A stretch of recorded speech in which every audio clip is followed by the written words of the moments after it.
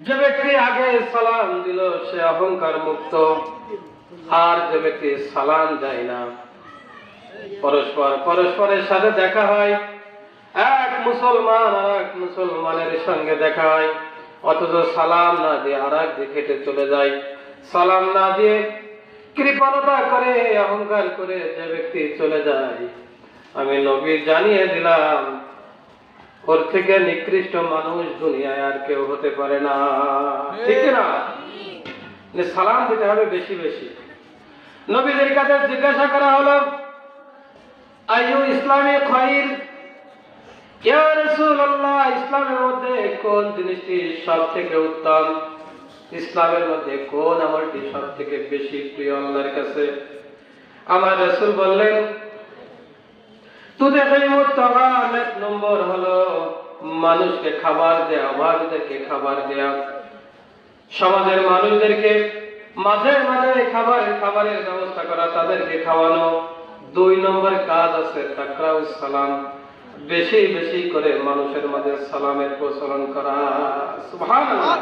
খারাপ তো আমার নাম তাকারি পরিচিত হোক, অপরিচিত হোক, আমরা শুধু পরিচিত মানুষকে সালাম দেই। অপরিচিত মানুষকে সালাম দেয় না। আল্লাহ রাসুল বলছেন, সে পরিচিত হোক অথবা অপরিচিত হোক, সেটা মুসলমান। তার সঙ্গে দেখা হলে সালাম দেওয়ার দরকার আছে না আছে।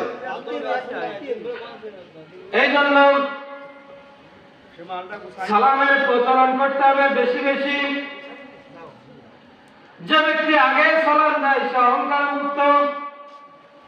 আর যে ব্যক্তি সালাম দেয় না, সে ব্যক্তি কৃপণ। আমাদের সমাজে অনেক মানুষ আছে। করে এসেছে। নামের আগে আলহাজ লিখেছে। অনেক সম্পদ আছে, টাকা পয়সার মালিক, বাড়ি গাড়ি আছে। মাথায় একটা টুপি আর গায়ে একটা জুব্বাতে রাস্তাতে হেঁটে বেড়ায়, ঘুরে বেড়ায়। কোনো মানুষকে অহংকারে ফেলায় সালাম দেয় না। ওনাকে শুধু সালাম দেয়, উনি কাউকে সালাম দেবে না। এরকম লোক আছে না নাই? আস্তে একটা কৃপণ একটা নিকৃষ্ট চরিত্রের লোক। নবীদের কাছে একজন সাহাবী এসে অভিযোগ করল, ইয়া রাসূলুল্লাহ, বুখারীর বর্ণনা, মুসলিমের বর্ণনায় একজন সাহাবী এসে বলল, ইয়া রাসূলুল্লাহ, ইয়া হাবিবাল্লাহ, আপনার অমুক সাহাবীর একটি খেজুর গাছ আমার জমিনে এসে পড়েছে। তার খেজুর গাছের গোড়াটি তার জায়গায় কিন্তু আগাটি হেলে গিয়ে আমার জমিতে পড়েছে, ওই জমির ফসলগুলো নষ্ট হয়ে যায়, এখানে ফসল হয় না। সুতরাং, ইয়া রাসূলুল্লাহ, আপনি যদি বলেন ওই লোকটাকে গাছটা কেটে ফেলতে, আমি অনেক উপকৃত হতাম, আমার জমিতে ফসল উৎপাদিত হতো। নবীজি আরেকজন সাহাবীকে পাঠিয়ে দিলেন তার বাড়িতে। নবীজি বললেন, তুমি অমুককে গিয়ে বলো, তার গাছটি যেন কেটে দেয়। আর এই গাছটির বিনিময়ে আল্লাহ তাকে জান্নাতের ভিতরে একটা গাছ দিয়ে দেবে।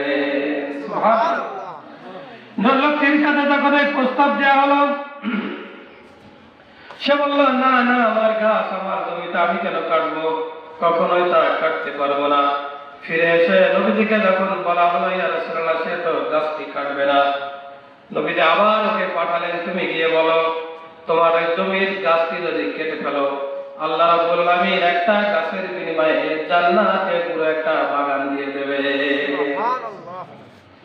লোকটির কাছে যখন প্রস্তাব নিয়ে যাওয়া হলো, সে আবার বলল, না না না, আমি কাটতে পারব না। আমার গাছ আমি কেন কাটবো? আমার জমিতে আমার গাছ হয়েছে আমি কেন কাটবো? এই কথা নবীদের কাছে ফিরে গিয়ে যখন বলা হলো, নবীজি বললেন, দুনিয়ায় আমি বহুত কৃপান ব্যক্তি দেখেছি। জান্নাতে আল্লাহ একটি গাছ নয়, পুরো একটি বাগান দিয়ে দেবে। তার লোকটি গাছটি কাটলো না। আমি পৃথিবীতে বহুত কৃপান মানুষ দেখেছি, কিন্তু এই লোকটার থেকে বেশি কৃপান মানুষ আর আমি দেখি নাই।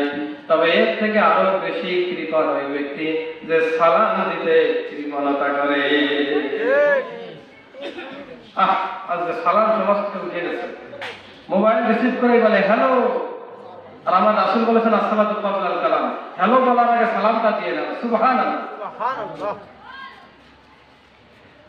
কিন্তু সালামের প্রচলন বেশি বেশি করতে হবে। আগে সালাম এটা অহংকার মুক্ত।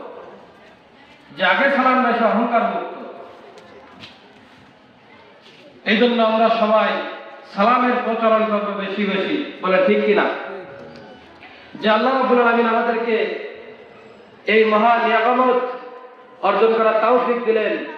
সে রব্বুল আলমিনের দরবারে শুক্রিয়া আদায় করেছি। বলছি আলহামদুলিল্লাহ।